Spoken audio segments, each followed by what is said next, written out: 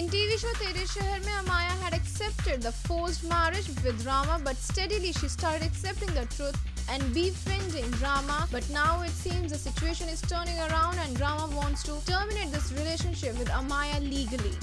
Well, Gupta family and Rama's mother is quite happy with the Rama's decision but let's see whether Rama and Amaya will get divorced or take this relationship forward.